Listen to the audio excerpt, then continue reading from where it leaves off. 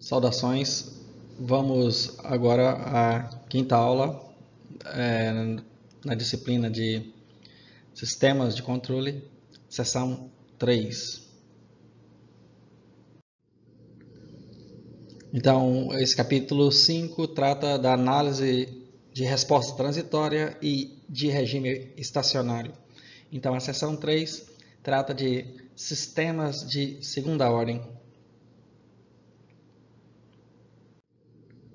Então aqui está a bibliografia recomendada, que já foi apresentada em outras aulas anteriores. Sistemas de segunda ordem. Então vamos obter a resposta do sistema de controle típico de segunda ordem às entradas em degrau, rampa e impulso. Aqui consideramos, ou vamos considerar, um sistema como um exemplo de sistema de segunda ordem. Esse exemplo é um servo-sistema.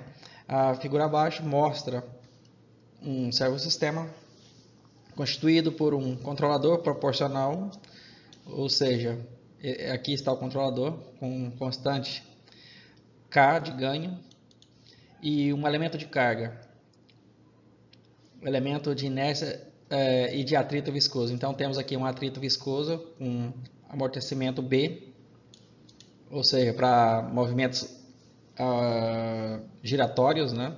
Então é um atrito viscoso giratório.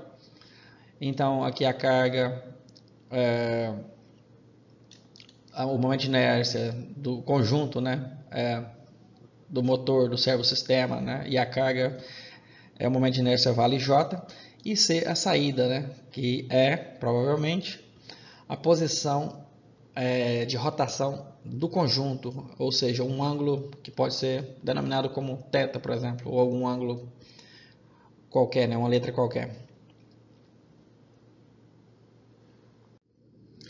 Suponha que se deseje controlar a posição de saída C, de acordo com a posição é, de entrada R. A posição de entrada, naturalmente, é a referência, ou seja, a posição que se deseja é, levar o sistema giratório. Né? A equação para os elementos de carga é dada por... Aqui é essa equação, na verdade, é, é a mesma equação para é, sistemas de movimento linear né, e não rotacional ou giratórios. No caso, o equivalente aqui, é, a força seria o torque. Então, o torque é referente à aceleração, ou seja, correspondente à segunda lei de Newton, é J, a derivada segunda da posição, ou da saída C, é, ou seja, a massa vezes a derivada segunda da posição, né, que é a aceleração, para movimentos lineares. Aqui é para movimento é, circular, né? Então, J é o momento de inércia, que depende da geometria das massas envolvidas que giram. Né? É, e B, aqui, é, vezes a derivada primeira da posição, ou seja, do ângulo. Então, é B vezes a velocidade de rotação, que poderia ser dado por ômega, né, a rotação, que é igual ao torque de entrada, né, T, onde T é o torque produzido pelo controlador, que é a entrada, né, não é, não é referência ao torque produzido pelo controlador, cujo ganho é K. É, considerando as transformadas de Laplace dessa equação, né, é, e condições iniciais nulas, temos, né, temos Js ao quadrado vezes C de S, ou C em função de S, mais B, S vezes C de, em função de S, que é igual ao torque de entrada TS. Esse torque aqui é referente não à entrada direta, mas à saída do controlador, como enunciado aqui.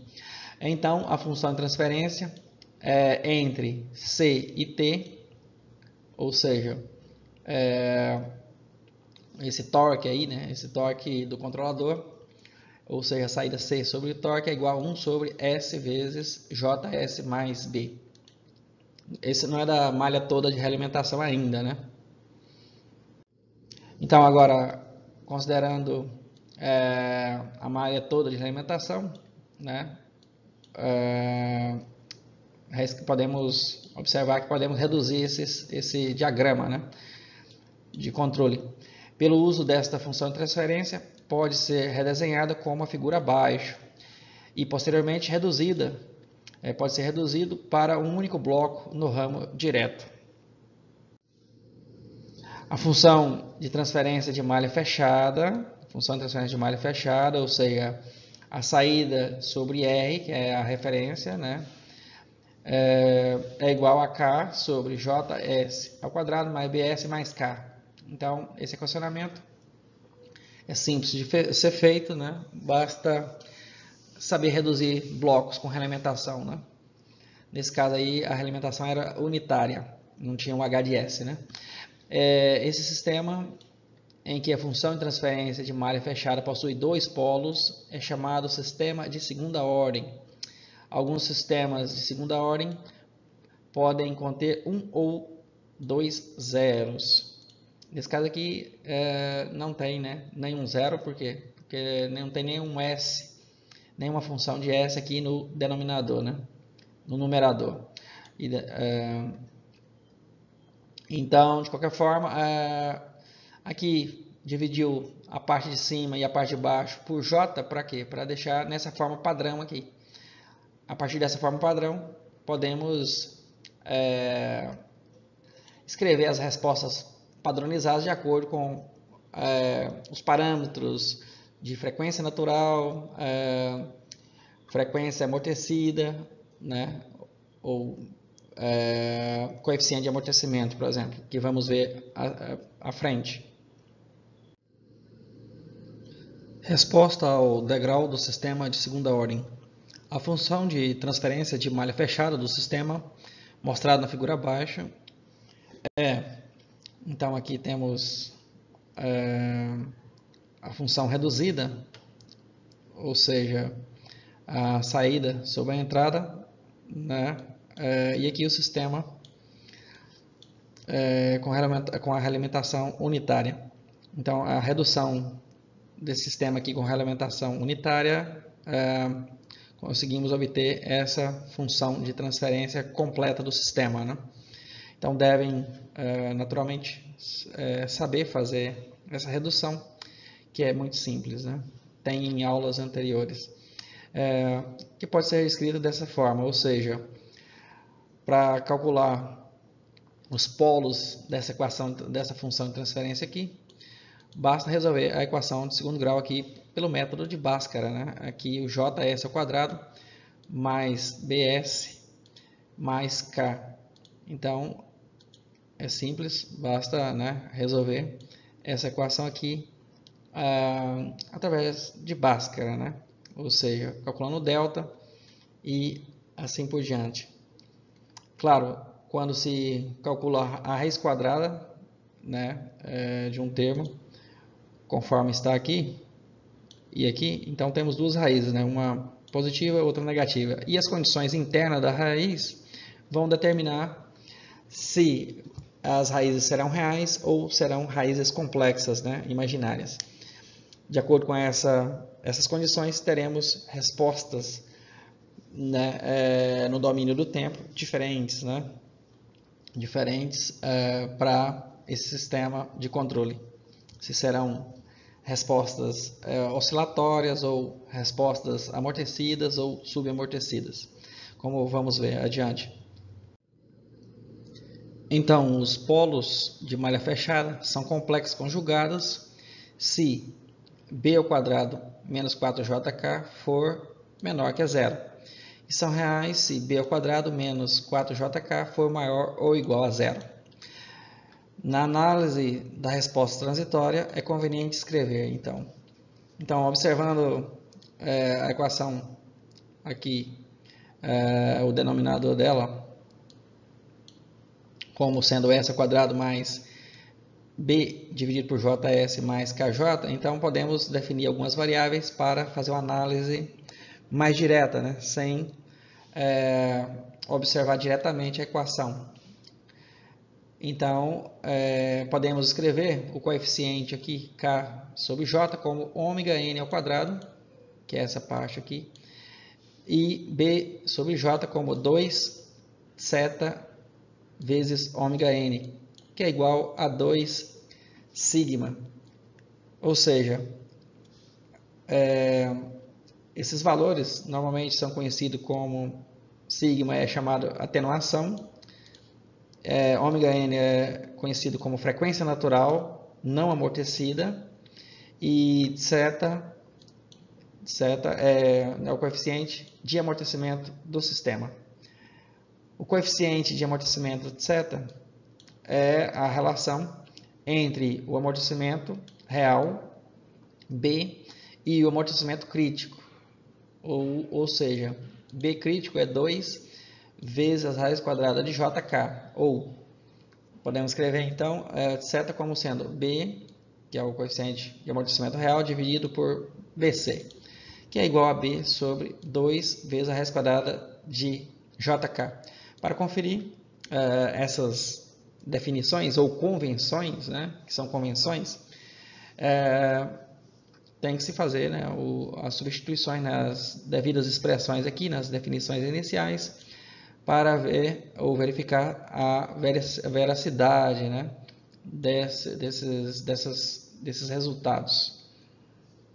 Uh, ou seja, uh, vamos admitir que seja verdade. Não vou conferir aqui naturalmente. Em termos de zeta e ômega n, o sistema da figura 5.5c, esse aqui, pode ser modificado conforme mostrado né, na figura 5.6. E a função de transferência de malha fechada, que é a saída sobre a entrada, de referência, dada pela equação 5.9, pode ser escrita como a equação 5.10 aqui. Então, primeira coisa, escrevendo o sistema, é, esse sistema dessa forma, na forma, na forma como, é, ou seja, usando as novas definições, novas constantes, é, podemos redesenhar o sistema dessa forma aqui. Né? Como sendo, em vez de, ao invés de escrever dessa forma, podemos escrever dessa forma. Ou seja, no lugar de K aqui vai ficar ômega n, que é a frequência natural, ao quadrado, e S aqui vezes S mais 2 zeta ômega n aqui na função de transferência de malha de ramo direto, né? E a função aqui, é, a função de transferência aqui pode ser reescrita desta forma, né? Entretanto, para escrever dessa forma aqui, temos que dividir esse j pelo lado de cima e pelo lado de baixo, para eliminar o j nesse termo de maior ordem no domínio S, aqui na variável S, no é, denominador. Então, aí, por comparação, comparando as duas equações, essa com essa, né, modificada, podemos é, obter né, os valores de ômega n e zeta, ou vice-versa, né? estabelecer uma relação entre as duas equações. O comportamento dinâmico do sistema de segunda ordem, de segunda ordem pode ser né, descrito em termos de dois parâmetros, como a gente viu, como sendo zeta e ômega n. Se agora é, analisando, analisando somente, né, agora zeta, então se é, zeta for menor, maior ou maior que zero e menor que 1, é, observamos que os polos de malha fechada são complexos conjugados e se situam no semiplano esquerdo do plano S, então fica do lado esquerdo. O sistema é então chamado subamortecido e a resposta transitória é oscilatória. Se θ é igual a zero, a resposta transitória não decai. Entretanto, agora, se θ é igual a 1, o sistema é denominado criticamente amortecido. Os sistemas super amortecidos é, correspondem a, ao valor da constante θ maior ou é, maior que 1, na verdade. Maior que 1. Resposta do sistema a uma entrada em degrau unitário. Consideraremos três diferentes casos. Então, agora analisando o sistema né, como sendo subamortecido, ou seja, quando 0 é menor que θ, que é menor que 1 e criticamente amortecida, então quando θ é igual a 1 e super amortecido quando θ é maior que 1. Então, para o primeiro caso, quando o sistema é subamortecido, o subamortecido, é, onde zero é menor que etc, que é menor que 1, neste caso, né, a saída sobre a entrada pode ser escrita como a saída sobre a entrada, né, fazendo agora aqui no denominador a resolução da equação, a equação é, no domínio S do é, denominador, é, então S mais é, θ vezes ômega n mais j ômega d, agora surgiu uma nova variável que é ômega d, vezes é, S mais θ é, ômega d menos j ômega d. Então, a partir dessas relações é, e comparando com a equação original, e é, naturalmente multiplicando esses valores aqui, essa expressão por essa, podemos comparar com a definição original, né? aquela é, que está aqui. Então, observando essa definição, é, podemos obter a relação que ômega d é igual a ômega n vezes a raiz quadrada de 1 menos θ ao quadrado. A frequência ômega d é chamada frequência natural amortecida do sistema. Para uma entrada em degrau unitário, a saída CS pode ser escrita como C em função de S, que é o domínio né, no domínio da frequência, é igual a ômega n ao quadrado dividido por S ao quadrado mais 2 θ ômega n vezes S mais ômega n ao quadrado vezes S. Ou seja, multiplica-se a função de transferência é, pela transformada de Laplace do degrau unitário. A transformada de Laplace do degrau unitário é 1 sobre S, por isso que surgiu o termo aqui, 1 sobre S aqui, nessa expressão. É importante é, também observar que em movimentos circulares, aqui é, eventualmente seja né, circular ou não, é, não importa, ômega significa velocidade angular e não frequência, né? É, geralmente. A transformada inversa de Laplace dessa equação pode ser obtida facilmente é, se a função da saída C em função de S for escrita da seguinte maneira. Então, é necessário fazer a fatoração, né? É, escrevendo em frações parciais essa função, de forma a obter uma expressões mais simples, né? que podem ser é, procuradas em uma tabela de transformada de Laplace. Né? Ou então fazer a transformada de Laplace em, das funções mais simples né? e para obter funções mais complexas por comparação. Uh, no caso aqui fica muito mais fácil né, procurar uma tabela que tem as transformadas de Laplace e assim posteriormente obter a transformada de Laplace inversa. Mas de qualquer forma é necessário é, escrever frações complexas, né, assim, com bastante complexidade, de bastante complexidade em frações mais simples. Assim, essas frações mais simples geralmente é, já são é, descritas em tabelas de transformada de Laplace. E assim é fácil obter a transformada inversa de Laplace. Então, neste caso aqui, essa função pode ser escrita dessa forma, 1 sobre S menos é, essa expressão aqui. E essa expressão aqui da direita né, pode ser reescrita como duas expressões mais simples. Uma expressão tem aqui S no numerador e a outra que não tem. Ah, neste caso, uma vai gerar uma função senoidal e a outra vai gerar uma função cossenoidal, quando se faz a transformada inversa de Laplace. E a transformada inversa de 1 sobre S, naturalmente, é o degrau unitário, né? é uma constante 1.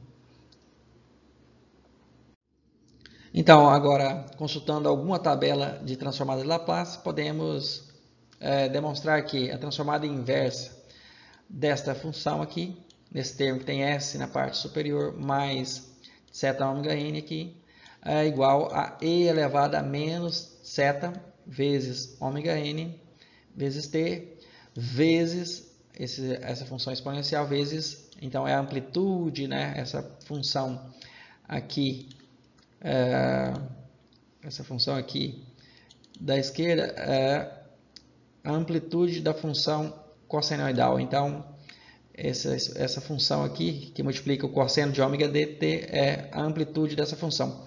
E a transformada de Laplace é, dessa outra função aqui, essa aqui, é a transformada de Laplace inversa, é igual a e elevado a menos zeta vezes ômega n vezes t vezes o seno de ômega dt. Ou seja, então é, é fácil encontrar essas expressões em uma tabela de transformadas de Laplace e obter agora a transformada inversa é, no domínio do tempo. Então, a transformada inversa de Laplace da equação é obtida como sendo né, a, a transformação, a transformada inversa de, da saída no domínio da frequência, que é igual, então, à saída no domínio do tempo, obviamente. Consultando alguma tabela, né, podemos demonstrar que, repetindo aqui, né, é, mostrando que a transformada inversa da função no domínio do, da frequência é igual à função no domínio do tempo. Então, claramente, podemos ver as correspondências agora da função aqui no domínio da frequência com a correspondente função no domínio do tempo. Então, a saída no domínio do tempo é igual a essa grande expressão que é 1 menos, né, é, elevado a menos zeta vezes ômega n vezes t, vezes aqui uma soma de funções, uma cossenoidal e a outra senoidal. Uh, agora, existe um método né, é, que pode ser usado para é, agrupar né, uma função aqui de amplitude diferente, uma função cossenoidal, com outra função senoidal aqui de amplitude diferente, em apenas uma função senoidal, por exemplo, ou cossenoidal. Neste caso aqui foi, foram transformadas essas duas funções em apenas uma senoidal. Posteriormente eu vou explicar como que é possível fazer isso logo à frente.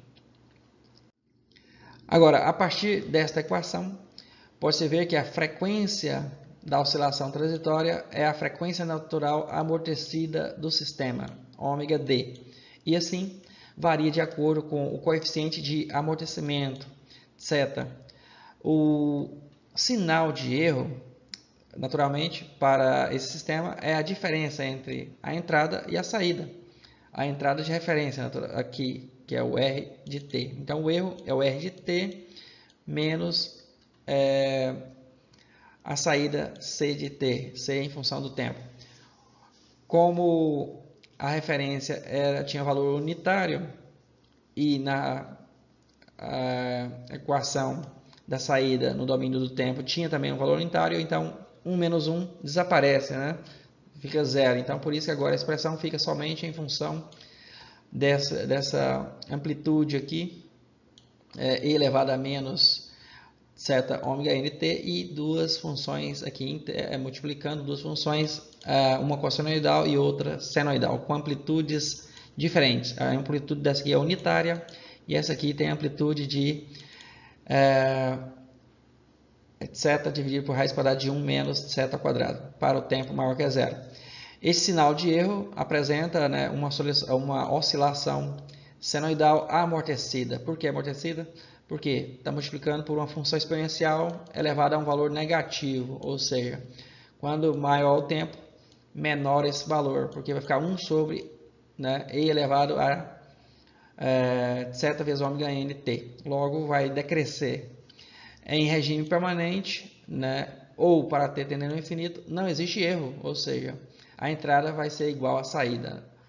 Por que, que não vai existir? Porque as duas funções aqui oscilantes vão reduzir o nível de oscilação à medida que essa função aqui, e elevado a menos zeta ômega nt, tende a zero.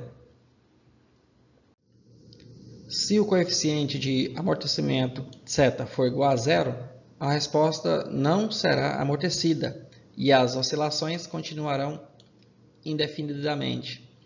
A resposta é, da saída, né, C em função do tempo, no caso de um amortecimento ser nulo, ser zero, é, pode ser obtida substituindo-se o valor de θ por zero na equação 5.12, ou seja, nessa equação aqui. Como não tem nenhuma indefinição, ou substituir θ por zero não gera nenhuma definição, podemos substituir tranquilamente. Então, essa parte aqui, e elevado a menos seta ômega nt, ao substituir o de seta por zero, resulta em e elevado a zero, que naturalmente é 1. e elevado a, 1, a zero é igual a 1. E essa parte aqui, referente à função senoidal, é, como seta aqui no numerador é, será igual a zero, então esse termo desaparece. Então resulta nesta equação que a saída no domínio do tempo é igual a 1 menos cosseno de ômega nt para t maior ou igual a zero. Assim, a partir desta equação, vemos que ômega n representa a frequência natural do sistema sem amortecimento. Isso é, ômega n é a frequência em que a resposta do sistema poderá oscilar se o amortecimento for reduzido a zero. Se o sistema linear tiver algum amortecimento, a frequência natural não amortecida do sistema não poderá ser observada experimentalmente. A frequência que pode ser observada é a frequência natural amortecida, ou seja, d, que é igual a n vezes a raiz quadrada de 1 menos θ ao quadrado que é sempre menor que a frequência natural não amortecida. Ou seja, como o caso experimental é, sempre vai haver algum amortecimento, eventualmente, então não é possível observar diretamente é, a frequência natural não amortecida, que é ômega n. Um aumento é, de θ poderia reduzir a frequência natural amortecida ômega d. Por quê? Porque aqui dentro da raiz quadrada tem 1 menos θ ao quadrado. Então, ao aumentar o valor de θ, uh, esse termo reduz e, naturalmente, reduz a frequência natural amortecida. Se θ for aumentado acima da unidade, a resposta se tornará é, superamortecida e não oscilará. Ou seja, é, então as equações são outras. 2. Sistema criticamente amortecido, é quando θ, né, é, é igual a 1. Se os dois polos é, da saída sobre a entrada forem iguais, o sistema será dito criticamente amortecido. Para uma entrada integral unitário, ou seja, R em função de S é igual a 1 sobre S no domínio da frequência, ou seja, fazendo a transformada de Laplace do degrau unitário no domínio do tempo, é, então, a saída pode ser escrita como sendo é, C em função de S no domínio da frequência igual ômega n ao quadrado dividido por S mais ômega n ao quadrado vezes S. A transformada inversa de Laplace dessa equação pode ser é, determinada como então a saída no domínio do tempo agora é igual a 1 menos e elevado a menos ômega nt vezes 1 mais ômega nt para t maior ou igual a zero. Este resultado é, pode ser também né, obtido fazendo-se é, θ se aproximar da unidade na equação que vimos anteriormente, ou seja, fazendo o limite. Né? Então, fazendo o limite no qual é, θ tende a 1, 1 da equação seno de ômega dt dividido por raiz quadrada de 1 menos é, θ ao quadrado é a mesma coisa do limite, né, desse outro limite, apenas uma né, mudança de limite que é igual a ômega nt. Então basta fazer esse limite para verificar a velocidade dessa, desse cálculo, né? ou seja, obtém esse termo aqui, ômega nt, sem precisar fazer né, a transformada de Laplace, é, usando apenas a função anterior já conhecida da saída. 3. Sistema superamortecido. para θ maior que 1. Neste caso, os dois polos da saída sobre a entrada no domínio da frequência são reais, negativos e desiguais, ou seja, diferentes. Para uma entrada em degrau unitário, a função degrau unitário é, no domínio da frequência é 1 sobre S e a saída pode ser escrita como basta multiplicar né, a função agora fatorada, a função aqui com o denominador fatorado, vezes 1 sobre S, que resulta nessa expressão. Então, aqui temos dois polos, aqui um polo, aqui outro polo, é, e, no caso, a transformada inversa de Laplace dessa função resulta é, na saída como sendo essa expressão, que é 1 mais esse coeficiente aqui, né? todo, é, esse coeficiente todo é em função de θ, é, vezes e elevado a menos θ mais a raiz quadrada de θ quadrado menos 1 vezes ômega nt. E aqui também outro termo, entretanto, o que muda é o sinal aqui da raiz, da raiz aqui da raiz, né? Esse aqui muda esse sinal e esse sinal aqui que fica negativo em razão da raiz quadrada. Então, ao final, podemos agrupar esses, essas duas funções em apenas uma, escrevendo é, desta forma aqui. 1 mais ômega n sobre 2 raiz quadrada de θ ao quadrado menos 1 vezes, entre parênteses, é, e elevado a menos S1t sobre S1 menos e elevado a menos S2t sobre S2. Então, é, escreve-se de uma forma mais simplificada. Esse S, minúsculo, né, no caso, S1 é igual a essa expressão aqui, uh, θ mais raiz quadrada de θ quadrado menos 1 vezes ômega n, e, e o S2 é justamente a mesma expressão, entretanto, com os sinais, com o sinal contrário. Né? Quando θ for bem maior que a unidade, ou seja, quando θ for ficar bem grande, uma das duas exponenciais decresce, é, decrescentes cai mais rápido que a outra.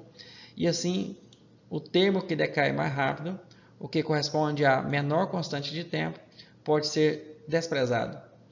Ou seja, se menos S2 estiver situado muito próximo do eixo J ômega do que menos S1, é, isso significa que o módulo de S2 é muito menor do que o módulo de S1. Então, para uma solução aproximada, podemos é, desprezar o valor de menos S1.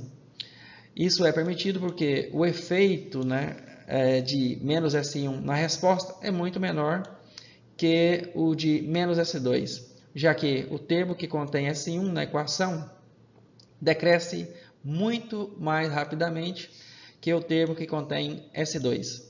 Ou seja, é, nessa, nessa equação aqui. Né? Então, o termo que contém é, S2 vai se manter por mais tempo e o, é, né? o tempo que vai se manter S1 né? vai essa, o efeito vai ser muito curto, né? vai desaparecer rapidamente.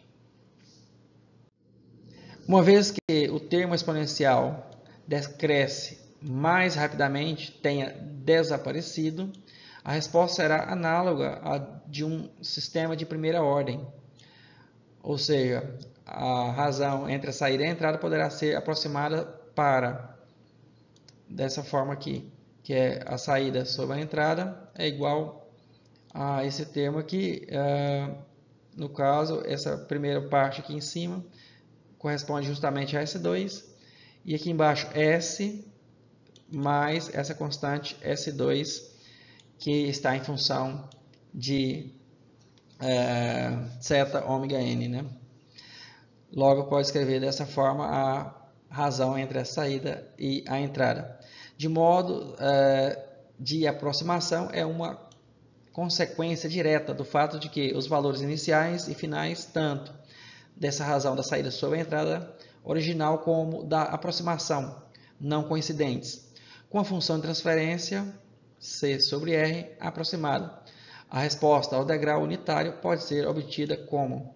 Então, a resposta ao degrau unitário pode se escrever aqui, multiplicando-se 1 sobre S aqui. Ou seja, é, então são dois valores aqui, constantes, aqui, constante, multiplicado por S.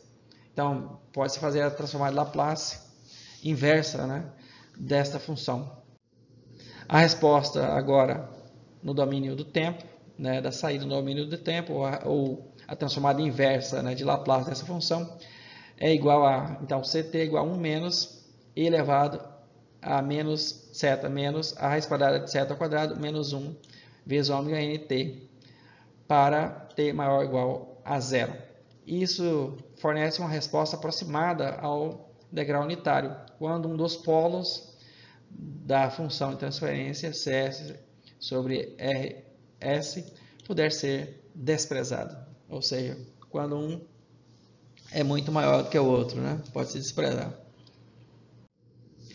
A figura ao lado mostra uma família de curvas da saída do sistema como a resposta ao degrau unitário para diversos valores de θ, onde a abscissa é a variável adimensional ômega nt. A abscissa aqui, a abscissa é o eixo x. Essa, como se x fosse, né, mas não é x.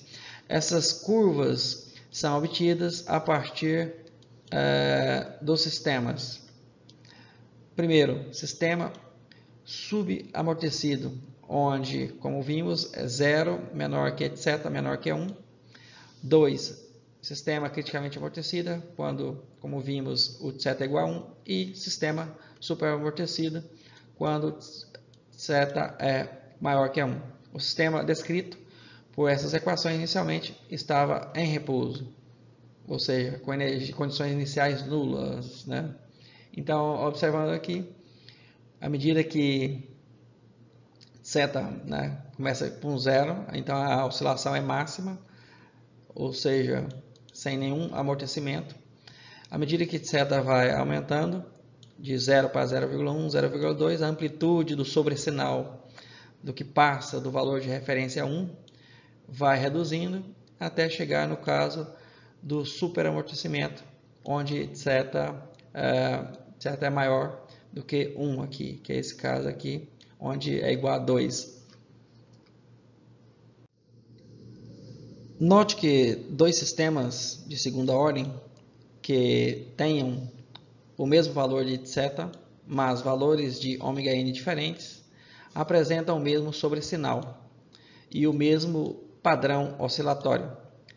Disse que esses sistemas têm a mesma estabilidade relativa.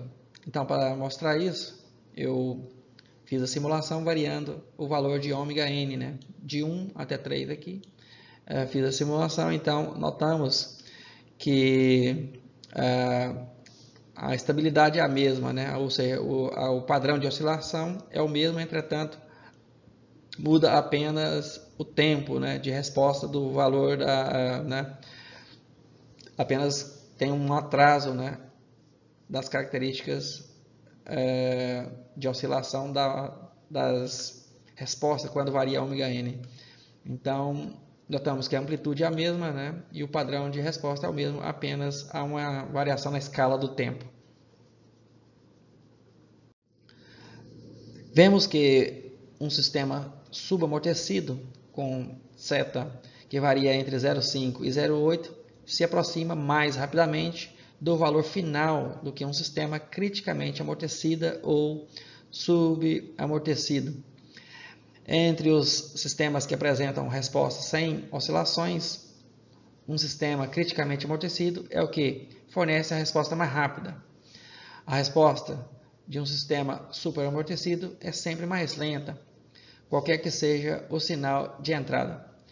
Neste caso aqui, uh, fiz uma variação do coeficiente de amortecimento de 0,5 até 0,8 e observamos que agora ah, o tempo de resposta é o mesmo, entretanto ah, o valor ah, da amplitude varia de acordo com o aumento do coeficiente de amortecimento, ou seja, quanto maior o coeficiente de amortecimento, menor vai ser uh, o sobresinal, né? o valor que passa, essa crista que passa do valor unitário da entrada do sistema. É importante notar que, para sistemas de segunda ordem, cujas funções de transferência de malha fechada sejam diferentes da que foi apresentada pela equação 10, 5.10, as curvas de resposta ao degrau podem aparecer completamente diferentes das mostradas nas figuras anteriores. Então, ah, aqui temos a, equação, né? estamos repetindo a equação, é, aquela que já escrevemos anteriormente. Definição das especificações da resposta transitória. Com frequência, as características de, de, desempenho de um sistema de controle são especificadas em termos de resposta transitória a uma entrada integral unitário, já que se trata de entrada suficientemente brusca e gerada com facilidade. Ou seja, se o sistema resiste, né, ou é, se o sistema tiver uma boa estabilidade à entrada muito brusca, então entradas mais é, suaves, ele poderá se comportar melhor ainda, porque se ele for projetado para uma entrada brusca, né? não suave. Quando a resposta a uma entrada em degrau é conhecida, é possível calcular matematicamente a resposta a qualquer tipo de sinal de entrada. A resposta transitória de um sistema a uma entrada em degrau unitário depende das condições iniciais. Por conveniência, na comparação entre as respostas transitórias de vários sistemas, é uma prática comum utilizar uma condição inicial padrão, que é a do sistema inicialmente em repouso, com o valor da variável de saída e todas as suas derivadas em função do tempo igual a zero. Assim, as características de resposta dos vários sistemas poderão ser facilmente comparadas. Na prática, antes de atingir o regime permanente, a resposta transitória de um sistema de controle apresenta frequentemente oscilações amortecidas. Na especificação das características das respostas transitórias de um sistema de controle a uma entrada em degrau unitário, é comum especificar o seguinte. Então, agora são estudadas uh, diversas características de uma resposta né, ao degrau e uh, como é padronizada essa resposta, então facilita a comparação com outros sistemas né, uh, para analisar o desempenho. Então, assim é analisado, por exemplo, o tempo de atraso TD. O tempo de atraso TD aqui é observado aqui é, como sendo aqui esse valor, ó, quando a amplitude, é, né, quando o sinal da saída atinge 50% do valor da entrada unitária 1. Então esse aqui é o tempo que quando o sinal passa pelo valor de 50%, né, ou 0,5 da entrada. O tempo de subida, que é TR, é definido quando como tempo uh, aqui quando a onda, a, né, a forma de onda, passa pelo valor ou tem o mesmo valor da entrada. Tempo de pico, que é TP, é o tempo que, que é gasto pelo sistema para chegar ao valor de pico aqui. Aqui, no caso, com um valor de que, que ultrapassa o valor unitário MP é, que é, no caso, o quarto item aqui, que é o máximo sobre sinal, ou apenas sobre sinal MP. 5. Tempo de acomodação ou TS. Esse tempo de acomodação aqui, TS, é definido como sendo a, né, a tolerância entre o sinal de saída e a entrada. Quando essa tolerância tem um erro menor ou igual a 0,05 ou 5%, ou às vezes quando quiser dimensionar um sistema com maior precisão, 0,02 ou 2% de diferença. Explicações sobre essas especificações. Então, vamos repetir, né? De forma simplificada. Então, primeiro, tempo de atraso TD. Como vimos, trata-se do tempo requerido para que a resposta alcance metade de seu valor final pela primeira vez. 2. Tempo de subida, ou TR, ou Rising Time, é o tempo requerido para que a resposta passe de 10 a 90%, ou de 5% a 95%, ou às vezes de 0 a 100% do valor final. Para sistemas de segunda ordem subamortecidos, o tempo de subida de 0 a 100% é nominalmente utilizados. Para os sistemas superamortecidos, o tempo de subida de 10 a 90% é o mais comumente utilizado.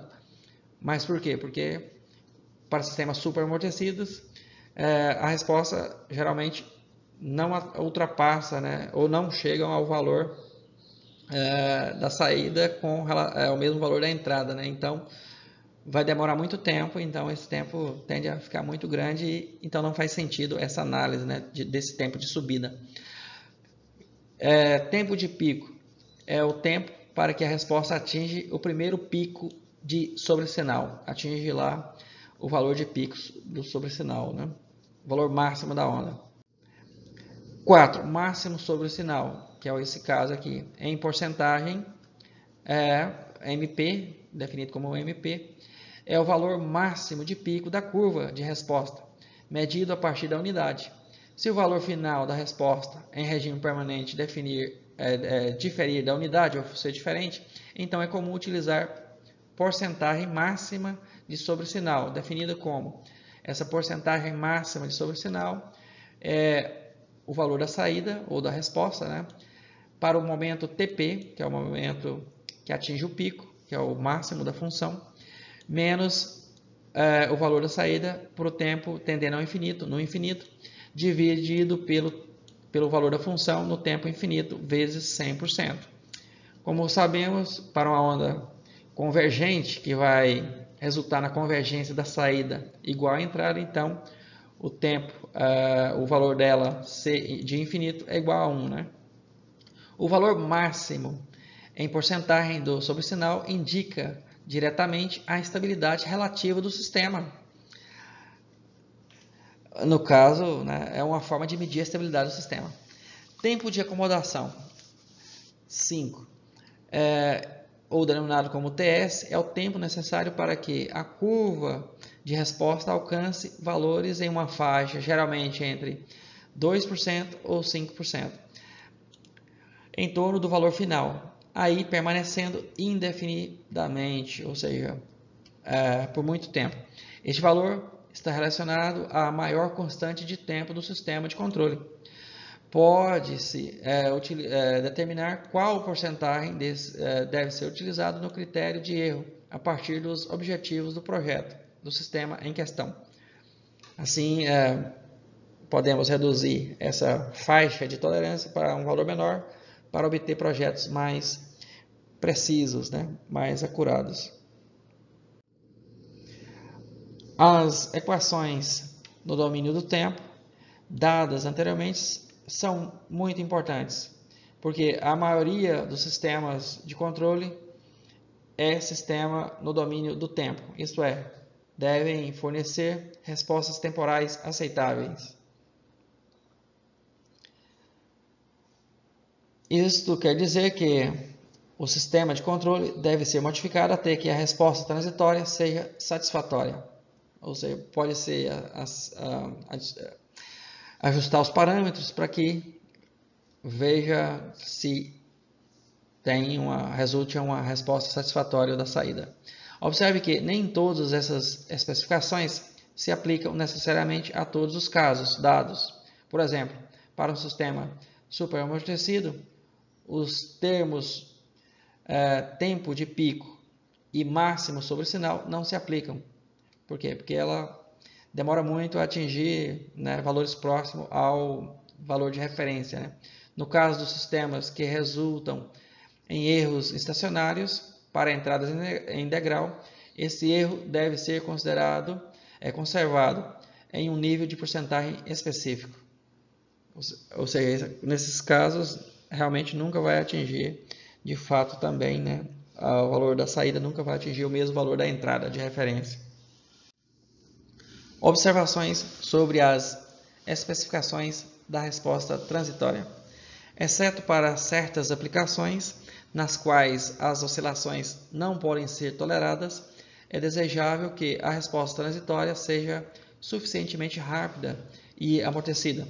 Assim, para uma resposta transitória desejável de um sistema de segunda ordem, o coeficiente de amortecimento deve se situar entre 0,4 e 0,8 Valores pequenos de θ, ou seja, para θ menor que 0,4, resultam em excessivo sobressinal na resposta transitória, e um sistema com um grande valor de θ, ou seja, θ muito maior do que 0,8 ou maior que 0,8, res, é, responde lentamente não muito maior, né?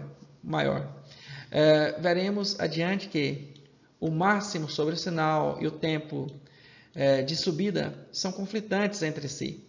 Em outras palavras, tanto o máximo sobre o sinal como o tempo de subida não podem ser diminuídos simultaneamente. Se um deles diminuir, o outro necessariamente se torna maior.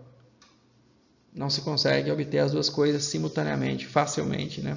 Quando melhora um, pode piorar o outro.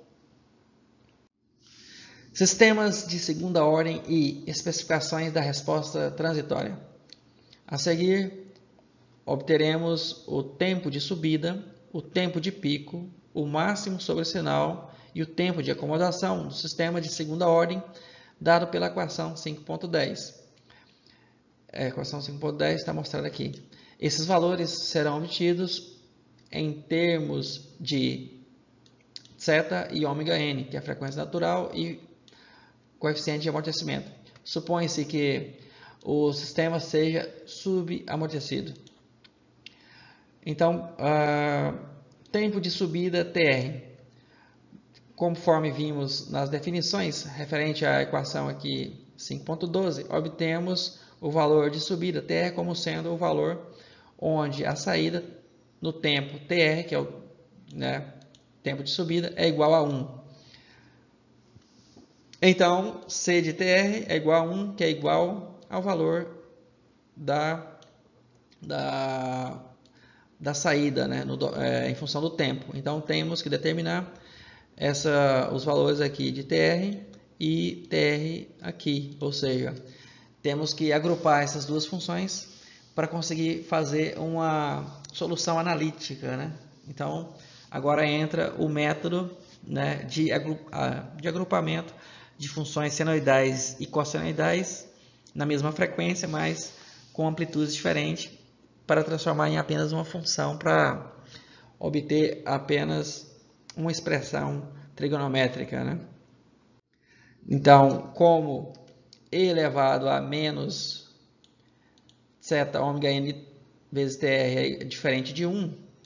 Então, a outra parte né, da equação a seguir igualamos a zero. Então, a primeira parte é, é diferente de 1, então vamos considerar a segunda parte da equação como sendo igual a zero para resolver a equação.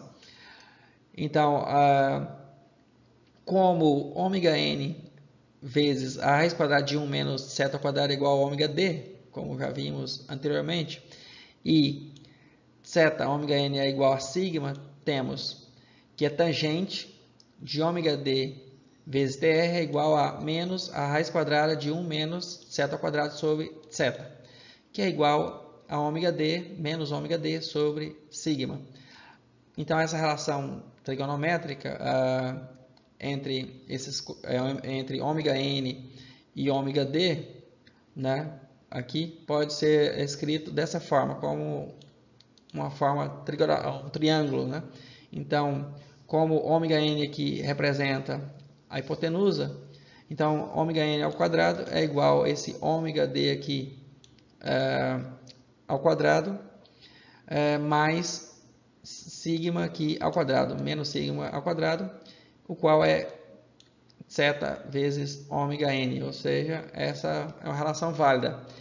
Então, é, a partir dessas relações trigonométricas, podemos calcular que o tempo de subida é, então, TR igual a 1, fazendo a, a, aplicando aqui a transformada inversa, a tangente inversa, né, ou arco cuja tangente nos dois lados dessa equação, podemos isolar o valor de TR. Então, passa o ômega D dividindo, é, então, passa o ômega D dividindo aqui, é, então fica fácil de obter o tempo de subida, TR, que é igual a 1 ômega D sobre ômega D vezes o arco cuja tangente é ômega D dividido por menos é, sigma. Fazendo a análise aqui do ângulo aqui a partir da referência aqui do eixo real, é, vemos que para 180 graus, π menos beta né, é igual é, a essa expressão de TR. Então, π menos beta sobre ômega d. Uh, Para resolver essa equação, eu prefiro fazer outro método, né? Como eu vou descrever depois. Então, o ângulo beta é definido aqui na figura 5.9. Evidentemente, é, para um menor valor de TR, é, ômega d deve ser maior. Então, à medida que, é, porque são funções inversas, então como o TR é igual a, a dois ângulos aqui, π menos beta sobre ômega d, então para é, reduzir o tempo tem que aumentar ômega d. Vou agora mostrar né, outro método para agrupar essas duas equações em uma só e poder isolar TR né, de uma forma mais fácil e analiticamente. Então, para essa equação ser reduzida em apenas uma função, trigonométrica. Então, outro método né, para obter essa função equivalente com apenas uma função trigonométrica. Né? No caso, eu prefiro fazer de, de, de uma outra forma. Né? É, ou seja, é, esse método eu aprendi durante a graduação com o professor de controle, professor Enes Marra. É, então, essa função fx, que pode ser né, que é a soma de duas funções trigonométricas, a cosseno de x mais b cosseno de x. Para reescrever essa função em apenas um argumento, podemos escrever dessa forma. Então, essa mesma função, a cosseno de x mais b seno x, tem que equivaler a uma função c cosseno de x mais um ângulo θ. Então, a partir daí, podemos uh, obter as, os valores agora de c e θ em função né, dos parâmetros A e B. Assim, para obter uma função equivalente para facilitar o cálculo da constante da, do valor do tempo TR, que é o tempo de subida do sistema. Então, o método é simples. É, então, o valor da constante C, como eu falei né, aqui, é igual a raiz quadrada de A ao quadrado mais B ao quadrado, ou seja, as amplitudes dessa do termo cossenoidal né, ao quadrado mais a amplitude B do termo senoidal ao quadrado. E o ângulo é justamente menos o arco retangente é B sobre A, ou seja, o coeficiente B da função seno dividido pelo coeficiente da amplitude né, é, da função cosseno. É, assim, pode, a função fx né, pode ser escrita agora com uma nova amplitude, que seria aqui a variável c, e um novo ângulo, e em função do cosseno agora. É, então, fica raiz quadrada de a ao quadrado mais b ao quadrado, e o ângulo menos a tangente, arco cuja tangente é b sobre a.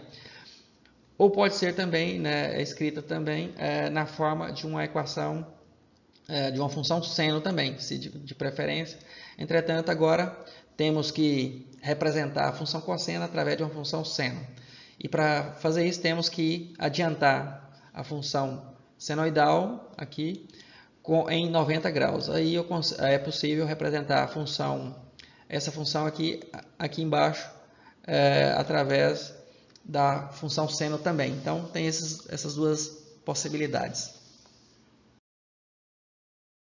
Para demonstrar aqui, é, eu fiz é, um exemplo, né? Então, a função aqui, agora no domínio do tempo, f de t é igual a 3 cosseno de t mais 5 seno de t. Então, é, fazendo as contas, para uma função equivalente cossenoidal, temos é, a raiz quadrada de 3 ao quadrado mais 5 ao quadrado, vezes agora o cosseno de, de t menos o arco cuja tangente é 5 sobre 3. O coeficiente uh, 5 vem aqui do termo em seno, e o 3 do termo em cosseno. Esse arco aqui está, uh, no caso, uh, foi, pode ser calculado uh, em graus ou em radianos. Né? Temos que ter essa atenção. Então, a função equivalente fica, resulta nessa aqui, que é 5,831 vezes o cosseno de t menos 59,04 graus. E aqui está a representação. Então, essa é a função cossenoidal, com a mesma frequência da função senoidal aqui, resultou nessa aqui de maior amplitude, que equivale à soma dessas duas menores, ou são equivalentes. Em melhor detalhe, as duas funções sendo representada em azul por uma função equivalente. A soma das duas funções menores sendo representada por essa aí de maior amplitude, é, que, é, né, que, é, equivalente às duas. Assim é, é mais fácil de calcular o tempo aqui interno da função equivalente, porque se reduz em apenas um termo. É fácil de aplicar a função inversa. Tempo de pico TP.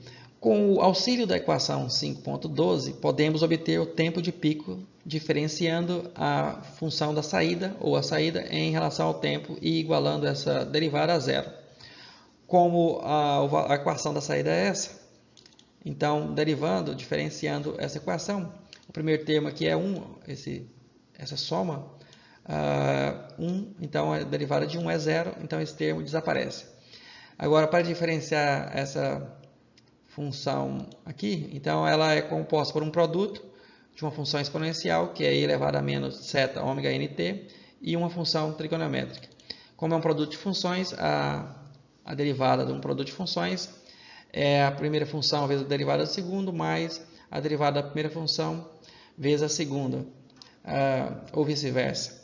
Assim, uh, surge, quando se diferencia o termo em senoide, surge um termo uh, em cosseno, como sendo função cosseno, né, uh, quando se faz a derivada do seno. Por isso surge esse termo em cosseno. E quando uh, se diferencia ou deriva a função exponencial, o termo em seno se mantém, que são os termos que não foram é, derivados quando se diferencia a função que está multiplicando. É, e os termos em cosseno, nessa última equação, cancelam-se mutuamente. Ou seja, é, ao se observar, um termo desse é positivo e o outro negativo. Logo, a derivada dc dt é calculada em t igual a tp, que é o tempo de pico. Então, agora a derivada para o tempo igual ao tempo de pico, temos que igualar essa expressão a zero. Geralmente, é, como é um produto de duas funções, temos, teríamos duas soluções possíveis, né? igualando uma igual a zero, passando a outra dividindo por zero, ou vice-versa. Qual for mais conveniente. Então, nesse caso, é, o que, que se optou? Passou dividindo esse termo da exponencial por zero, porque eventualmente é, o tempo vai atingir zero somente quando o tempo tendeu ao infinito, o TP for infinito, então esse termo vai zerar apenas quando o TP for infinito. Então, ele passa dividindo ao zero e iguala-se o seno de ômega d TP igual a zero para obter um valor é, de zero para um tempo menor que o infinito. Logo, desta última equação resulta na seguinte expressão: seno de ômega d, Tp é igual a zero. Aplicando né, a função inversa do seno em ambos os lados da equação, temos que ômega d, Tp é igual a uma série de soluções. Então, ocorre é, para vários ângulos, para o arco zero, para o arco π, que são 180 graus, 2π, 3π e assim por diante. É, como o tempo de pico corresponde ao primeiro pico do sobresinal, ômega d, Tp é igual a π. Então, esse vai ser o primeiro pico, porque como é oscilatório, então tem vários picos. É, então, vários pontos de máximos é, locais, né? de máximos locais. Então, Tp é igual a π sobre ômega d. Esse tempo de pico corresponde a meio ciclo da frequência de oscilação amortecida. Máximo sobre sinal MP. Como calcular? O máximo sobre sinal ocorre no tempo de pico ou em T igual a TP, que é igual a π sobre ômega d. Então agora basta né, substituir o valor do tempo de pico TP uh, na equação. Então, ao supor que o valor final da saída seja unitário, uh, TP é obtido a partir da equação 5.12. Então, essa equação aqui 5.12, que é a resposta do sistema, uh, é, ou seja, CT, que é a saída em função do tempo. Então, substituindo agora é, nessa equação o valor do tempo de pico, então, que é π sobre ômega d, podemos obter essa expressão e, ao final, simplificá-la. Né?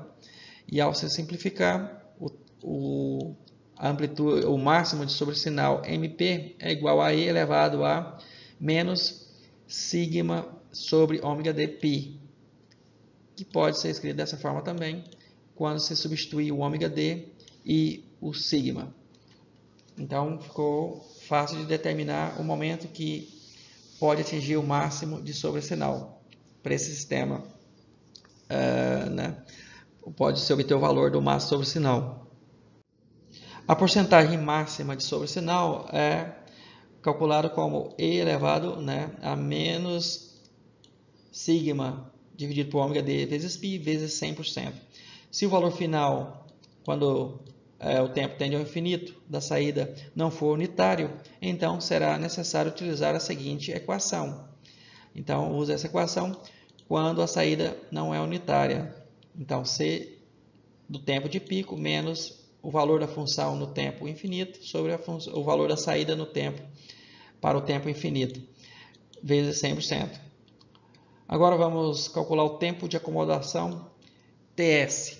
Para um sistema subamortecido de segunda ordem, a resposta transitória é obtida a partir da equação 5.12, conforme aqui abaixo. Então, é, agora vai ser 1 vezes essa amplitude, vezes essa senoide né, modificada, é, para essa função senoidal né, ou essa função trigonométrica, colocando a saída em apenas uma função, como vimos. Então, vamos lá. Então, é, para essa função, aqui temos um termo 1 menos é, essa amplitude da senoide. Então, esse termo aqui a gente considera como sendo a envoltória da oscilação da, da, da resposta né, ou da saída né, para o tempo maior que é zero. Então, as curvas 1 mais ou menos é, e elevado a menos seta ômega nt dividido por raiz quadrada de 1 menos seta ao quadrado são curvas chamadas de envoltória da resposta transitória à entrada em degrau unitário. A resposta CT permanece sempre dentro de, de um par de curvas envoltórias, como mostra aqui ao lado. Então, fica aqui entre menor que 1 mais esse valor e fica maior que 1 menos esse valor aqui, oscila aqui dentro. A constante de tempo dessas curvas envoltórias pode ser calculada como t é igual a 1 sobre zeta ômega n. A velocidade de decaimento da resposta transitória depende do valor da constante de tempo, 1 sobre zeta ômega n. Para dado valor de ômega n, o tempo de acomodação ou TS é uma fração, é uma função do coeficiente de amortecimento zeta. A partir da figura 5.7, vemos que para o mesmo valor de ômega-n, ou seja, a mesma frequência natural, e para uma faixa de valores de zeta é, entre 0 e 1, o tempo de acomodação TS para um sistema ligeiramente amortecido é maior para um sistema adequadamente amortecido. Para um sistema superamortecido, o tempo de acomodação TS se torna grande, porque a resposta é lenta. Então, observando aqui, quando θ aumenta de 0 para 0,1, 0,2, 0,3 e assim por diante, então o tempo de acomodação é, vai, vai reduzindo. Entretanto, se a redução for, né, ou de seta for grande, aí o sistema se torna super amortecido, aqui como, por exemplo, seta igual a 2, então demora muito para atingir a acomodação também se é, o valor de seta for muito grande, por quê? Porque o sinal demora a atingir o valor da referência da entrada, que é o valor unitário, né? Então tem que ser uh, bem equilibrado é, né, o ajuste de, do valor de, do, do, da constante de amortecimento, né, para que é, se atinja uma acomodação mais adequada possível e mais rápida possível. O tempo de acomodação corresponde, né, como a gente viu, a uma tolerância entre mais ou menos 2% ou mais ou menos 5%.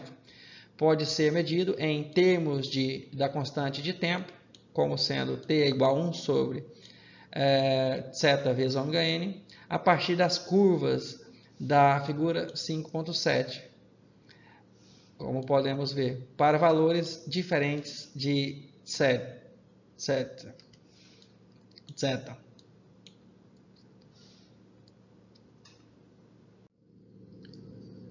O resultado é mostrado na figura 5.11, essa figura aqui. Para 0 menor que zeta menor que 0,9, se for utilizado o critério de, critério de 2%. O tempo de acomodação TS será aproximadamente 4 vezes a constante de tempo do sistema. Então, como podemos ver, é, na faixa entre 0 aqui de zeta até 0,9, até aqui, essa faixa aqui, para o critério de 2%, ou seja, um critério que demora mais, então vai ficar dentro dessa faixa aqui de 4T. Ou seja, essa linha superior aqui é o limite de acomodação, quando θ varia aqui aproximadamente entre 0 e uh, 0,9. Uh, a outra linha aqui é para a, a faixa, né, quando uh, a acomodação é de 5%, ou seja, é mais rápido Entretanto, há uma folga, né? a tolerância ao erro é maior. Né? Se for usado o critério de 5%, ou então o tempo de acomodação será aproximadamente 3 vezes a constante de tempo, ou seja, 1t, 2t, 3t. Ou seja, essa curva aqui é uma curva de tempo inverso, né? que está o tempo em função de uma variável, é, zeta. Né? zeta. É, note que o tempo de acomodação atinge um valor mínimo em torno de zeta igual a 0,76. Aqui, aproximadamente aqui, para 2%, bem aqui, nesse ponto. Esse ponto aqui, deixa eu marcar aqui, aqui. E, no caso, uh, ou 0,68 para o critério de 5%. E aí, nesse caso, aqui muito próximo do zeta igual a 0,7. E então aumenta quase linearmente para valores grandes de zeta. Então, quando passa de 0,8, aumenta bastante o tempo para o sistema acomodar. Por quê? Porque ah, ele está tão amortecido que ele é, demora a atingir o ponto de equilíbrio, né? O sistema. A descontinuidade nas curvas desta figura 5.11, essas linhas pontilhadas na vertical são descontinuidades. É, surge porque uma variação infinitesimal do valor de zeta, de zeta pode causar uma variação finita no tempo de acomodação, ou seja, para uma pequena variação dos parâmetros, às vezes o tempo de acomodação é, varia é, até mesmo quase que uma constante de tempo, ou seja, cria um degrau. Ou seja, esses, os sistemas são sensíveis, algumas vezes, é, por pequenas variações de temperatura ou algum parâmetro do sistema, ou é, algum ruído, alguma coisa que leve né, ao sistema a responder mais lentamente para chegar à estabilidade ou a se acomodar dentro da faixa de tolerância. Né? Então, essas aqui são as curvas de tempo de acomodação em função do, da do amortecimento zeta.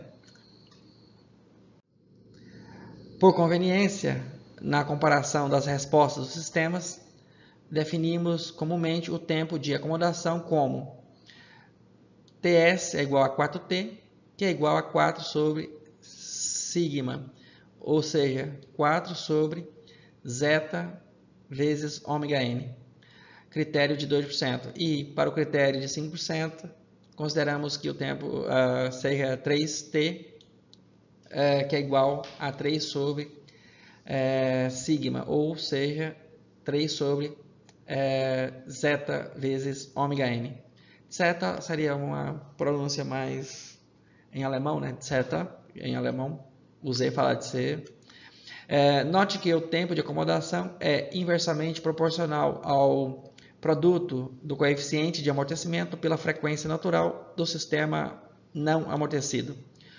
Como o valor de zeta é, em geral, determinado a partir da especificação do sobresinal máximo aceitável, o tempo de acomodação é determinado principalmente pela frequência natural não amortecida ômega n. Isso significa que a duração do período transitório pode variar sem alteração do máximo sobre, pelo ajuste da frequência natural não amortecida ômega n. A partir da análise anterior, é evidente que, para uma resposta rápida, ômega n, ou a frequência natural, deve ser grande. Para limitar a, o máximo sobre o sinal é, MP e fazer que o tempo de acomodação seja pequeno, o coeficiente de amortecimento é, zeta não deve ser muito pequeno. A relação entre a porcentagem do máximo sobre sinal e o coeficiente de amortecimento, MP, é apresentado na figura 5.12, para a função padrão lá, como vimos, né, de segunda ordem. É, note que se o coeficiente de amortecimento estiver situado entre 0,4 e 0,7, então a porcentagem do máximo sobre o sinal para a resposta ao degrau está entre 25% e 4%. Ou seja, podemos observar aqui no gráfico que para zeta entre 0,4 e 0,7, ou seja, essa faixa aqui, 0,4 e 0,7, é, que aqui temos 01, 02, 03, 04, 05, 06 e 07, vem até aqui, na verdade. Então, para essa faixa aqui, né, para essa faixa aqui, podemos observar que o MP no eixo Y, né, o eixo aqui do MP, podemos observar quais valores. Então, observando aqui, aqui ó, temos aproximadamente 25%, e aqui, para esse valor de 0,7, 0,7 zeta, é, temos aqui o valor mais ou menos de 4% no sobresinal. Então, vai ter um, o sinal vai passar do valor de referência aproximadamente é, apenas 4%, enquanto aqui, nesse ponto aqui, é, 5%, é, 25%. Então é isso, interessante. É importante notar que as equações para a obtenção do tempo de subida, tempo de pico, máximo sobre sinal e tempo de acomodação são válidas somente para o sistema padrão de segunda ordem, definido pela equação 5.10, que é essa aqui, como a gente viu. Ômega n ao quadrado sobre s ao quadrado mais 2 zeta ômega n vezes s mais ômega n ao quadrado.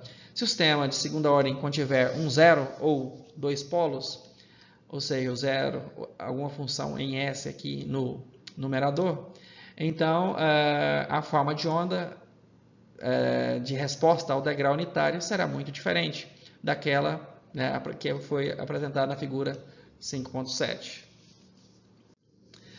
Exemplo 5.1. Considere o sistema é, mostrado na figura 5.6, onde z é igual a 0,6 e ômega n igual a 5 rádios por segundo.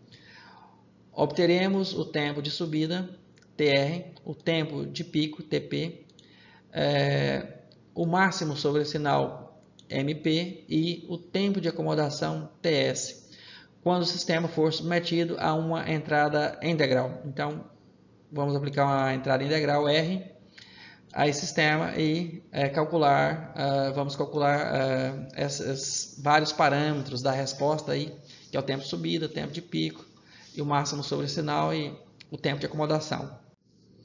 Resposta, então, como vimos, zeta é igual a 0,6, ômega n igual a 5 rádios por segundo. A partir dos valores de zeta e ômega m, n, né, pode-se obter ômega d, que é uma das constantes interessantes também, que é a frequência natural amortecida, né? Frequência amortecida. É, ômega d é igual a frequência natural vezes a raiz quadrada de 1 menos zeta ao quadrado. Então, é igual a 4. E sigma, como sigma é igual a zeta vezes é, ômega n, então é igual a 3. É, e o tempo de acomodação, o tempo de subida, ou rising time, TR, o tempo de subida é dado por TR igual a π menos beta dividido por ômega d. Que ao se substituir, ômega d temos aqui, que é o valor 4, e 3,14, que é o valor 159, que é o valor de π, menos beta. Então, para calcular beta, é necessário calcular é, o arco retangente, é ômega d sobre sigma, que é igual a 0,93 rad. Então, agora, substituindo o valor de beta aqui, é, obtemos o tempo de subida, que é igual a 0,55 segundo. Tempo de pico. O tempo de pico é, pode ser calculado por π sobre ômega d. Então, 3,14, 159 sobre 4 é igual a 0,785 segundo. Uh, o tempo, de, uh, o máximo de sobressinal MP pode ser calculado como uh, E eleva, é é elevado a menos sigma dividido por ômega D vezes π, que é igual a, substituindo e calculando, 0,095. O máximo sobressinal em porcentagem é então de 9,5% apenas, que passa do valor de referência. Né? O tempo de acomodação TR no caso, uh, para o critério de 2%, é, pode ser calculado como 4 sobre é, sigma, que é igual a 1,33 segundo que o sistema gasta para acomodar. Para o critério de 5%, o sistema é mais rápido e gasta uh, apenas 1 segundo, 3 sobre sigma. Serve o sistema com realimentação de velocidade. Uh, a derivada do sinal de saída pode ser utilizada para melhorar o desempenho do sistema. É, na obtenção da derivada do sinal de saída de posição, é desejável utilizar um tacômetro em vez de um diferenciador fisicamente é, o sinal de saída. Note que a derivação amplifica os efeitos do ruído. De fato, se houver ruídos é, descontinuados, a derivada amplificará mais o ruído descontinuado do que o sinal útil, útil para o controle. Uh, por exemplo, o sinal de saída de um potenciômetro é um sinal de tensão descontínuo. Por quê? com o cursor em movimento sobre as espiras uh, dos enrolamentos, são induzidas tensões por ocasião da comutação entre as espiras, gerando assim transitórios, ou seja, gerando ruídos. É, portanto, a saída do tacômetro não pode ser usada, é, do potenciômetro, na verdade, não pode ser usada por um elemento diferenciador. O tacômetro é mais adequado e não o potenciômetro, né? O tacômetro em um gerador é um gerador, né? É, no caso de corrente contínua, é frequentemente utilizado para medir a velocidade em processos de derivação. É, o sinal de saída de um tacômetro é proporcional à velocidade angular do motor, conforme mostrado aqui. Então aqui temos é, no caso, temos a saída, aqui C deve ser a posição. Então, antes da saída, que é a posição nesse diagrama de blocos, é, temos antes aqui a velocidade, ômega. Né? Então, a integral da velocidade é igual à saída, que é dada é, o ângulo, né? que é o ângulo para sistemas é, que em rotação. Considera esse servo sistema aqui. Então, então temos duas realimentação, uma realimentação do ângulo, da posição angular, e uma realimentação aqui da velocidade, né, que passa pela constante KH. Então é um controle de um servomotor que usa duas realimentações, uma de posição e uma de velocidade. Então, nesse dispositivo, o sinal de velocidade com o sinal de posição é realimentado como sinal de entrada, produzindo o sinal de erro atuante. Então aqui temos o sistema né, com as duas realimentações, duas realimentações, uma da velocidade e outra aqui unitária né, da posição.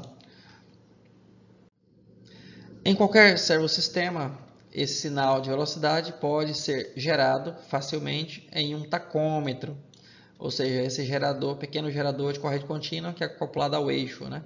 É, e que interfira pouco né, no momento de inércia do sistema girante.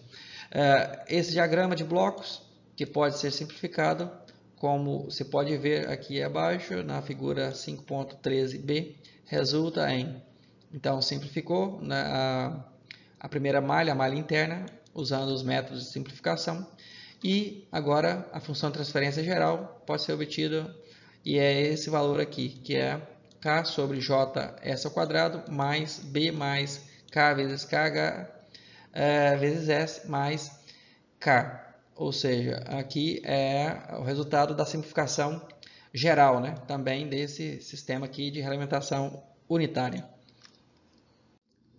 Então, comparando-se as equações 5 e 24 e 5.9, lembrando aqui da, da, equação na forma padrão, temos que uh, escrevê-la na forma uh, na forma geral, né? Para poder comparar com essa aqui. Então, para comparar, temos que passar dividindo J em cima e embaixo, para que possamos uh, fazer a comparação entre é, entre essa equação aqui e essa aqui. Né? Então, ao se fazer isso, é, podemos calcular as constantes ômega n e θ. É, então, quando dividir aqui por j, em cima por j e embaixo aqui por j, então aqui nesse termo aqui fica dividido por j. Esse termo dividido por j é justamente igual a ômega n ao quadrado daqui. Ao se comparar, então, ômega n ao quadrado é igual a k sobre j. Então, uh, e a parte interna aqui, que é 2 zeta ômega n, é igual a b mais k vezes kh dividido por j. Então, resultando nessa expressão aqui. A frequência natural não amortecida ômega n igual a raiz quadrada de k sobre j não é afetada pela realimentação da, de velocidade ou de velocidade. O máximo sobre o sinal da resposta a uma entrada integral unitário pode ser controlado pelo coeficiente de amortecimento zeta, zeta. Podemos reduzir este máximo sobre sinal ajustando o valor da constante de realimentação de velocidade kn, a fim de fazer que zeta fica, fique situado entre 0,4 e 0,7, no caso. É, a realimentação de velocidade tem o efeito de aumentar o coeficiente de amortecimento, sem afetar a frequência natural não amortecida do sistema. Exemplo 5.2. Para o sistema da figura 5.13a, determine os valores de ganho K e a constante de realimentação de velocidade KH, de modo que o máximo sobre sinal da resposta ao degrau unitário seja 0,2 e o tempo de pico seja de 1 segundo. Com esses valores, de K e KH, obtenha o tempo de subida e o tempo de acomodação. Suponha que o J, que é o momento de inércia, é igual a 1 kg é, vezes metro quadrado. E B, que é o coeficiente de amortecimento, seja 1 Newton vezes metro dividido por radios por segundo. Então, o diagrama é o mesmo, entretanto, agora a pergunta é inversa, né? quer descobrir as constantes em função do tempo de resposta de, do pico, por exemplo, de pico. Ou seja, que o sobressinal seja no máximo 20% e o tempo de pico de 1 segundo. Então, a determinação dos valores de K e KH. O máximo sobre sinal, no caso Kp, é dado pela equação 5.21, como sendo uh, mp é igual a e elevado a menos zeta dividido por raiz quadrada de 1 menos, menos zeta ao quadrado vezes π. Uh, então, como mp é de 0,2, ou seja, 20%, é, acima, né, o sobre sinal acima da referência, então 0,2 é igual a essa equação. Então, é, é necessário aplicar a função inversa né, do, da exponencial, aplicar o logaritmo natural em ambos os lados da equação para eliminar a exponencial e é, obter o valor né, é, de zeta. Então, nesse caso, zeta é igual a 0,456. O tempo de pico, TP, é especificado como sendo 1 segundo e pode ser calculado como, ah, usando a fórmula TP, tempo de pico é igual a π sobre ômega d, igual a 1, então ômega d é igual a 3,14. Então, ah, essa parte eh, da resolução é simples. Como zeta é 0,456, ômega n é igual então a quanto? Ômega n é igual a ômega d sobre a raiz quadrada de 1 menos zeta ao quadrado. Então, ômega n é igual a 3,53. Agora, como a frequência natural ômega n é igual a raiz quadrada de k sobre j, então agora podemos determinar é, o valor é, de k usando é, o momento de inércia e a frequência natural ao quadrado. Então, é, dá ômega n ao quadrado, né? Porque o J deve ser igual a 1, salvo engano, então dá 12,5 Newton vezes metro. Assim, KH, que é aquela constante, é, pode ser calculada com 2 duas vezes a raiz quadrada de K vezes J, dentro da raiz quadrada, vezes é, fora da raiz, vezes zeta, dividido por é menos beta sobre K.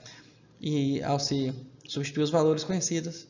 Então, é, KH é igual a 0,178 segundos. O zero, segundo, no caso.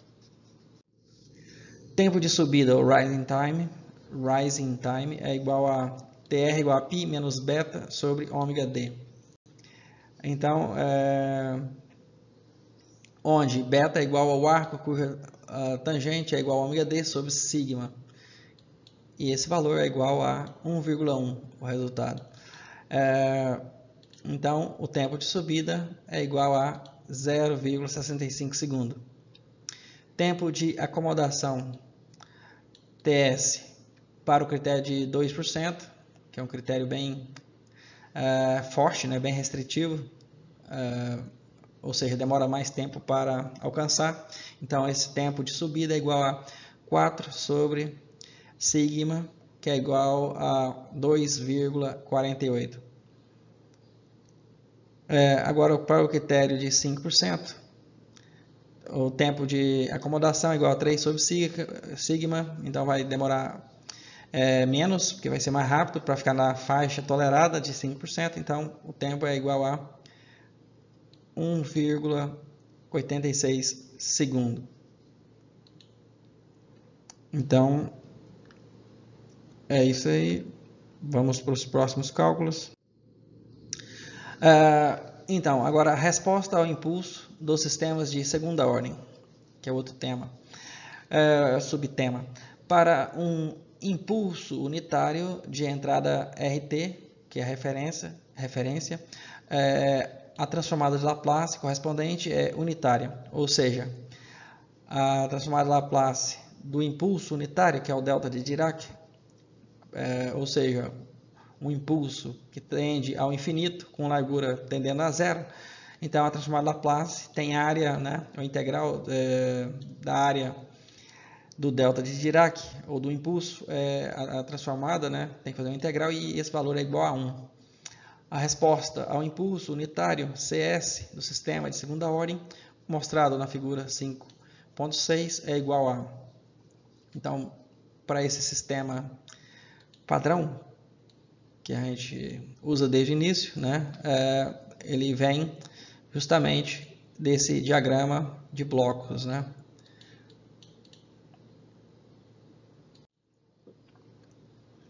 Então, vamos seguir. A transformada inversa de Laplace desta equação fornece a solução para a resposta no, no tempo. É, com a resposta no tempo é, da saída em função do tempo, C de t, segue. Então, para o coeficiente de amortecimento aqui no intervalo entre 0 é, menor ou igual ao coeficiente de amortecimento é, e 1, zeta, é igual a esse valor. C de t é igual a ômega n sobre a raiz quadrada de 1 menos zeta ao quadrado, vezes e elevado a menos zeta, vezes ômega t, vezes seno de ômega n, vezes a raiz quadrada de 1 menos zeta ao quadrado vezes t para o tempo maior que zero. Então, para zeta igual a 1, uh, surge uma indefinição né, para essa, essa equação, porque se substituir o zeta igual a 1 aqui, fica 1 menos 1 ao quadrado, então daria zero né, no denominador aqui. É, então, não pode substituir diretamente, né? Então temos que fazer o limite, ah, podemos fazer o limite, né? é possível fazer o limite para zeta tendendo a 1. E ao se calcular esse valor, né, é, obtém a saída como sendo esse valor aqui. A, a, a, saída é igual a ômega n ao quadrado vezes t, vezes e elevado a menos ômega n t para t maior ou igual a zero.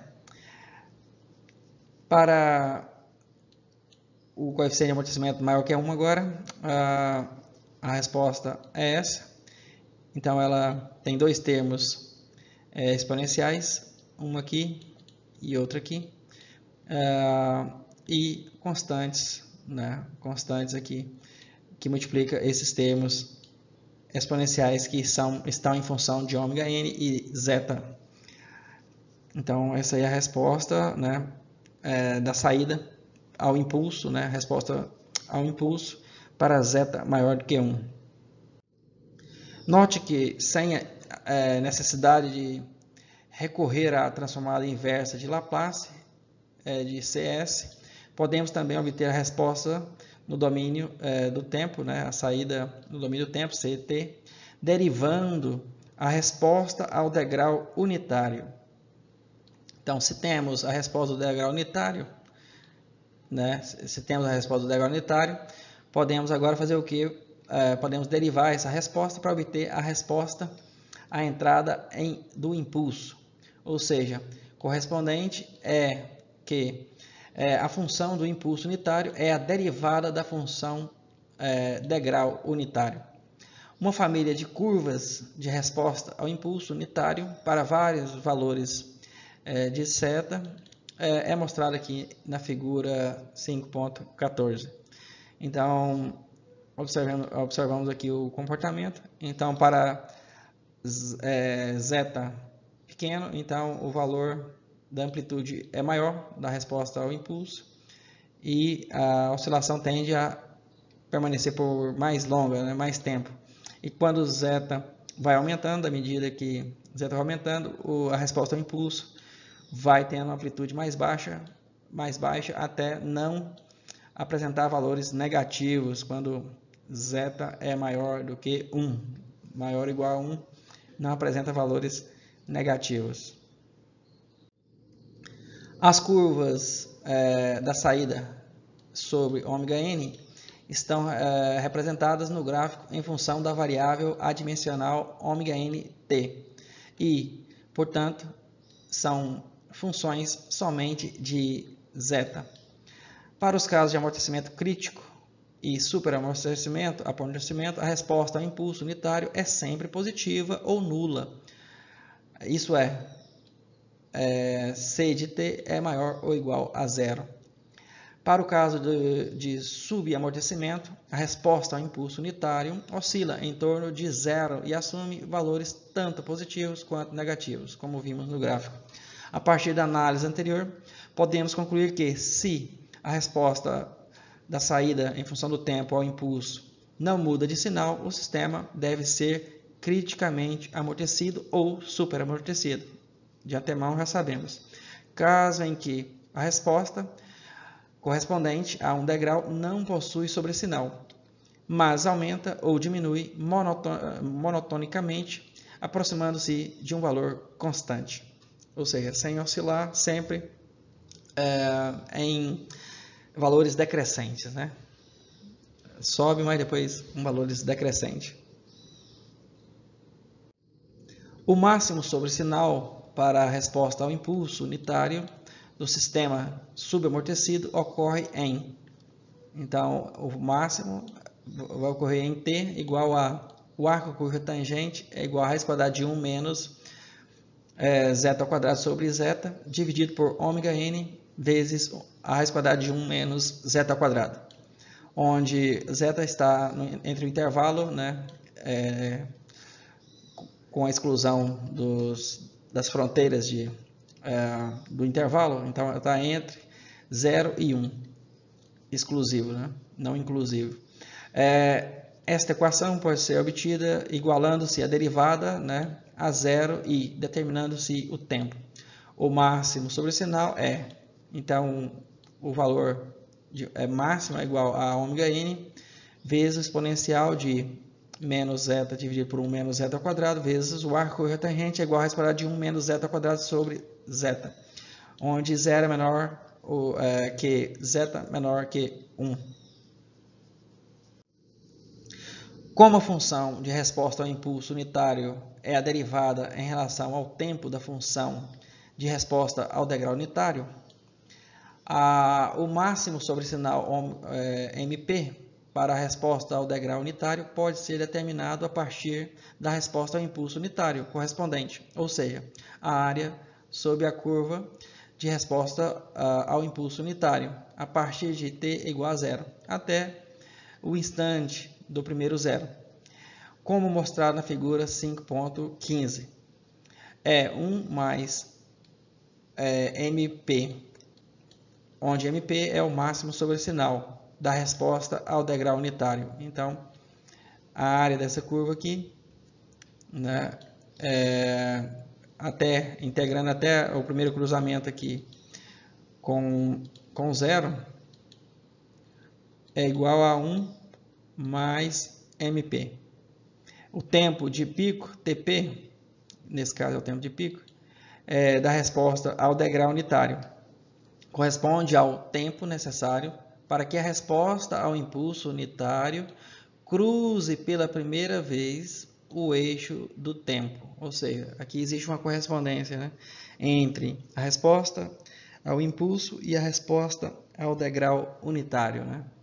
Podemos fazer é, essa comparação, inclusive para obter a partir de uma a resposta do outro, né? fazendo os devidos cálculos, seja fazendo a derivada ou seja fazendo a integral, para fazer o cálculo inverso. Né? Então é isso aí, essa é a sessão referente é, a esse assunto, é, que são os sistemas de segunda ordem.